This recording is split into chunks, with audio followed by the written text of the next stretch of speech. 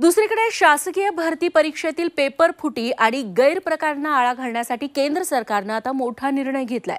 Paper फुटी विरोधात कायदा लागू करण्यात आला मध्यरात्री केंद्रानं याबाबतची अधिसूचना जारी केली आहे देशात पेपर फुटीच्या घटना वाढल्यानंतर यावर्षी फेब्रुवारी महिन्यात संसदेनं हा कायदा पुन्हा लागू केलाय.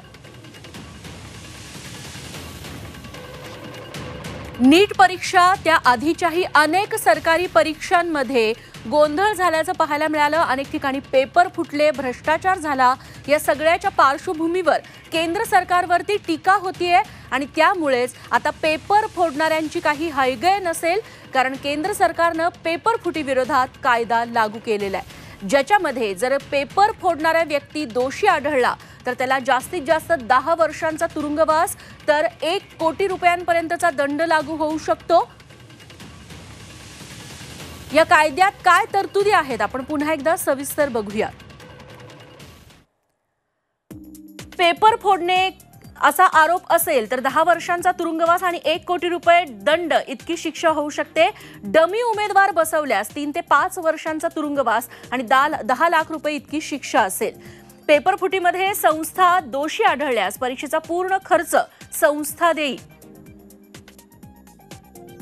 संस्थेची संपत्ती जप्त केली जाईल.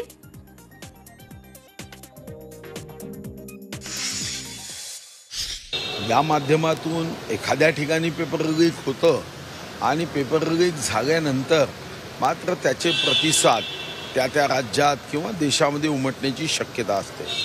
विद्यार्थ्यांच्या मनात यातून त्यांच्या भविष्याचं प्रश्नचिन्ह निर्माण होतं. घटना जरी एखाद्या ठिकाणी झाली तरी त्याचा सर्वंकष आणि सर्वव्यापी परिणाम हा मानसिकतेवर होतो आणि यातून जो देश घडवणारा विद्यार्थी आहे त्याच्या मनामध्ये एक व्यवस्थेबद्दल राग निर्माण होतो.